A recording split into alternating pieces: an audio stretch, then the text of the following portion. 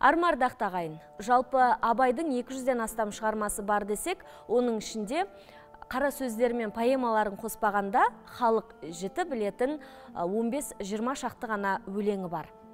Біз бүгінгі студияда абайдың тағы бір өлеңін талдаймыз. Студияның бүгінгі қонағы абай танушы сайлау қажыбекұлы. Қош келдіңіз аға студияға. Бүгінгі бағдарламада абайдың қай өлеңіне тоқталамыз? Жалпы абайдың өлеңдерінің барлығын талдау керек. Ал 1903 жылы ахмет байтұрсынов айтады қолыма абай өлеңдері түсті. Бір оқығанда ауырлау түсінуге ауырлау. Адам оны жаттығып барып талдап барып түсінбесе оңайшылықпен түсінбейді. Бірақ ол абайдың ақынның кемшілігі кінәсі емес. Ол оқырманның кемшілігі дейді. Сонда осы абайдың көк тұман алдында келер заман деген өлеңін келтіреді. Мысалға иә? мысалға келтіреді. Иә осы өлеңнің түсіну өте ауыр деп. Енді бүгін сол өлеңді оқимыз ба? Оқиық. Студияда? Мархабат. Оқиық әрине. Көк тұман алдындағы келер заман. Үмітті сәулетіп көз көп қадалған. Көп жылдар көп күнді айдап келе жатыр. Сурет жоқ сипатта жоқ көз талған дейді. Шумақ шумағымен талдайық. Көк тұман алдыңдағы келер заман деген біз алдымыздағы күнді болжай алмаймыз. Ол бұлыңғыр. Көк тұман басып тұрған сияқты алдымыздағы өмір.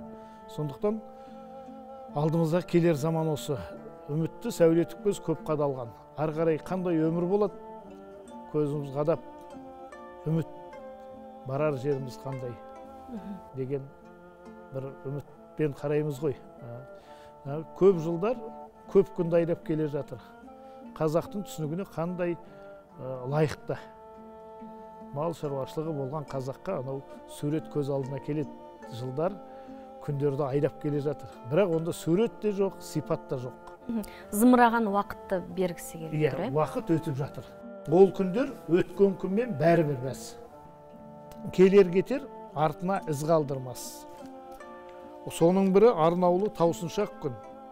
Арғысын бірақ алла біледі рас.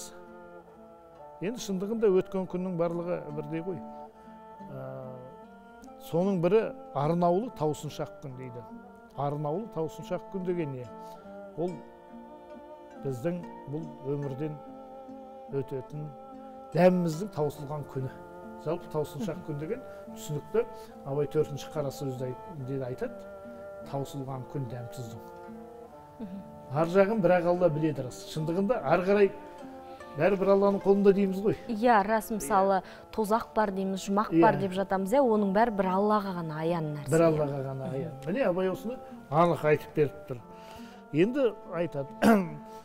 Ақыл мен жан мен өзім. Тән менікі. Менімен менікінің мағынасы екі. Мен өлмекке тағдыр жоқ әуел бастан. Менікі өлсе өлсін оған бекі дейді. Сонда менікі ақыл мен жан ол адамның ішкі қасиеті.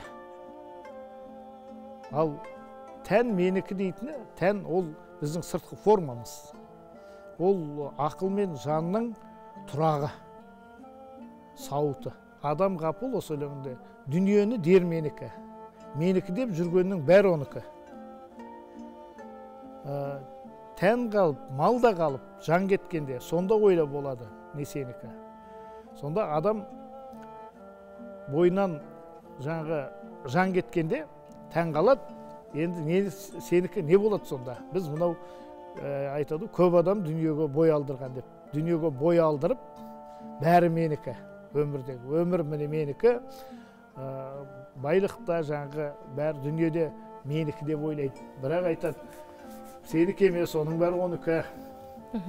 Ертең тәнің қалады шіріп. Малың қалады жаның кет, ұшады кетеді. Сонда ойла болады не сенікі? дейді. Міне өмір болмыс адамның өмірдегі орны оның мақсаты дегенде осы ойлардан ары қарай шығады. Адам өмірге не үшін келді? Қойған мақсаты не? Бұл жалған өмірде ол алданды әртүрлі жолға түсті. Ода не қалды артыңда? Содан кейін ана жаңағы өлеңінде айтылатыны бар ғой. Көп адам дүниеге бой алдырған бой алдырып аяғын көп көп шалдырған. Шалдыр өлді деуге сияма ойлаңдаршы. Өлмейтұғын артына сөз қалдырған. өлмейтін адам жоқ бірақ жан өлмейді деп айтылады. Ә, жалпы. Ал екінші артына сөз қалдырған артына ұрпаққа мұра қалдырған рухани дүние қалдырған адам ол өлмейді. Абайдың аты мәңгілік. Қанша ғасыр өтсе де Қанша ғасыр өтсе де ол- жаңарып жаңғырып бізге басқа қырларымен көрінеді. Аға енді шынымен ақ бұл өлеңнің жаңағы түсінігі ауыр деп айта алмаймын енді. Психологиялық тұрғыдан адамды бүйтіп басып тастайтын өлең иә? әрине. Мысалы ә, өлім ақиқат деп тұр да ол жерде. Иә ертеңгі күні бәрібір өлетінің анық сондықтан жаңағы дүниең де басқаң да бәрі осында қалады. Ал өлгеннен кейінгі өміріңнің не болатынын оны бір алла ғана біледі деген сияқты. Бір адамды ә, бір ойландырып тастайтын өлең да шынымен ақ.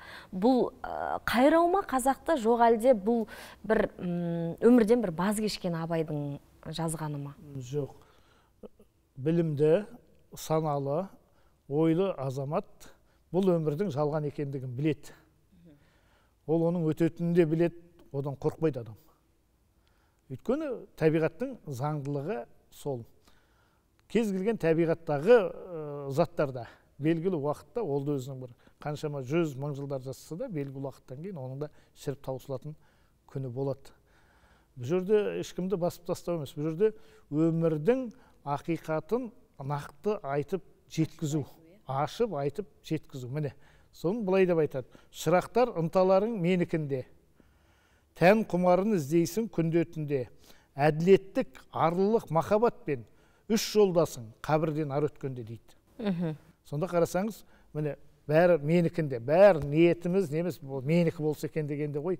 Ал енді жаңағы қабірден ар өткендегі өтердегі жолдасың не? Әділеттік арлылық махаббат. Үш жолдасың осы. Өмірде әділетті бол арлы бол махаббат. Махаббат дегенді ол, ол жалпы сүю. Арабтың тіліне иә бір өлеңінде жазады ғой Иә, иә. мысалы алланың өзі жаратқан Иә, пендесін мысалы бауырым деп сүй дейді иә келген жаратқан адам адамзатты деп айтады ғой. Иә иә. Сол сонда осыны сүю керек. Осы үшеуі болса ол жаңағы толық адам дегенді абайдың кәміл мұсылман дегені де осындай адамдар. Адамдардың өмірі енді жаңағы айтып отырған әділеттік арлық махаббатпен осы жолдарда мынау абайдың шығармаларында қате бар. Ә, абайдың өлеңінің өзінде емес басылымда қате бар. Осыны айтады. Әділеттік арлық махаббатпен үй жолдасың қабірден ар өткенде осыны бір басылымда былай жазып келеді бір басылымда былай жазып келеді. Соны ә, біздің ұстазымыз қаймұхамедханов айтады айтып тұр ғой өзі санап. Әділеттік арлық махаббат үш жолдасың ар өткенде үш жолдасың сол дейді. Сіз ондай қателерді білесіз себебі сіз абай танушысыз ғой жалпы бүгінгі таңдағы абай танудың жағдайы қалай? Бүгінгі таңда абайтану өсті өрістеді. Терең зерттеліп жатыр. Бірақ ә, әркімнің пікірі әрқилы. Біреу жастар жаңашылмыз деп жаңаша көзқараспен қараймыз деген бір ойларын айтып жазып та жатыр. Абайға сынды айтып жатыр. Абайдың шығармалары дегенге күдік те келтіріп жатыр. Енді әлеуметтік желілерді қарасаңыздар тіпті бұл абайдың өлеңдері емес бұл ахмет байтұрсыновтың өлеңдері ғой дегенде бір ойлар ә, қазіргіше айтқанда кездейсоқ тосын бір адамдар бір креативті деген ой айтқылары келетін сияқты. Бірақ сол тереңіне бармайды. Мынау ә, үстірт қарап абайдың өзі өлеңінде де бар ә, байқамассың үстірт қарап бұлғақтасаң дейтін. Үстірт қараймыз. Бүгінгі күнде осы зерттеп жүрген адамдардың абай танушылардың мынау алдыңғы аға буын өкілдері осы абайды қорғаймыз деп. Шырпыр болып жүр иә шырпыр болып жүр. Жаңағындай кімнен қорғайды абайды? абайды жаңағыдай тосын ой айтам дегендерден. Олар енді аңдамай сөйледі деп айтпаймын. Олар оқыған жалпы азаматтар ғой енді. Бірақ біз кейде өзімізді танымай тұрып біз өзгені үлгі ете бергіміз келеді. Абай ана шопенгауэрді оқымаған ә, эйнштейнді оқымаған. Ол қалай данышпан деген иә ол қалай данышпан деген. Бірақ оның барлығы өте қате түсініктер. Абай қазақ арасында өсті. Ол сол қазақы ұғымды қазақы философияны даланың ұлы даланың ә, көшпелі халықтың философиясын ол терең білді. Ол өйткені өзінің көз алдында. Әрбір халық әрбір ұлттан шыққан данышпандар бүкіл әлем бойынша адамзат бойынша жазбаған. Олардың жазған философиялық трактаттары болсын көп жағдайда бізге келе бермейді ол батыстікі өзіне ә, мысалы ағылшындікі өзіне менталитетке менталитетке қарай жазылады. Көп жағдайда. Енді сонда біз абай шығармаларын а, батыспен былғанбаған таза қазақи а, туынды деп қарай аламыз иә әрине. Бұлғанбаған дегенде ә, абайды жалпы батыс әдебиетімен ә, философиясымен таныс болғандығы айқын. Оған бокельді дрейферді спенсерді оқығаны оны ғалымдар дәлелдеді. Ал екінші мәселе ә, біз кеңестік дәуірдегі айтылған кейбір ойлардан әлі арыла алмай келеміз. Көптеген ә, жоғарғы оқу орындарында абайтану бар бірақ солардың басын қосатын енді ойлаймын осы академия болу ортақ керек. бір жүйе болу иә керек иә. иә? Қазақ ұлттық университетінде де бар. Олар да қаншама кітап шығарды. Жақсы аға бүгінгі біздің студиямызға келіп уақытыңызды бөліп абайдың шығармаларын талдауда оны жаңа көрерменге жеткізе білуде өз үлесіңізді қосқаныңыз үшін алғыс айтамын. Жалпы енді абайтануда сіңіріп жатқан еңбегіңіз табысты болсын дегім келеді. Себебі ол еңбек бүкіл қазақтың әдебиетін ә, толтыратын еңбек боларына сенемін аман болыңыз аға. Рахмет. Ал құрметті көрермен мен өздеріңізбен алдағы бағдарламада қайта қауышам. Амандықта жүздесейік.